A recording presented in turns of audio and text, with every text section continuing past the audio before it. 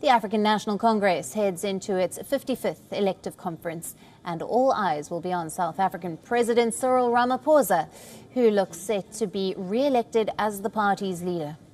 The conference is being held in Johannesburg from the 16th to the 20th of December.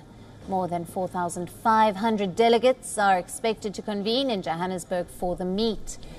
Besides electing an 80 member National Executive Committee, the party will also elect a president who would be the presumptive presidential candidate for the national elections in 2024.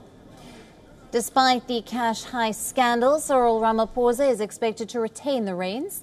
This would be just days after he was uh, spared impeachment proceedings. Ramaphosa, who projects himself as a graft busting champion, took control of the ANC in 2017 after his boss, Jacob Zuma, was mired in corruption affairs. But the cash scandal, dubbed Farmgate, involving millions of dollars, found stashed at Ramaphosa's private farm, dented his clean hands image.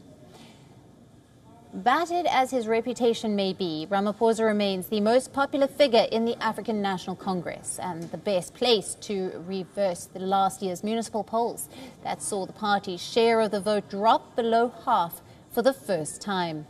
Ramaphosa has the party's backing for now. A show of unity was needed ahead of ANC's elective conference to pick the new party leaders. Ramaphosa, who is seeking a second five-year term, received the most votes from branches of the ANC heading into the elective conference. So whoever emerges victorious in the vote will have to get the party on track for the next elections due in 2024. Diffusing anger at crippling power cuts and entrenched poverty in South Africa will be a critical challenge. Now, for more on this, our correspondent Colton Ongmu gets us the latest from Johannesburg.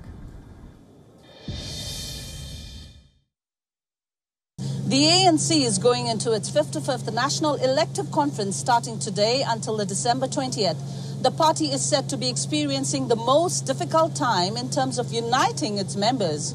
Experts have the view that ANC members are going to be headbutting, and this will be the most vicious conference as yet.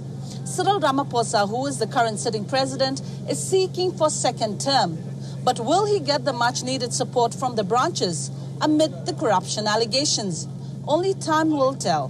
This is Calden Olmo from Johannesburg, South Africa for WION World is One. WION now available in your country. Download the app now. Get all the news on the move.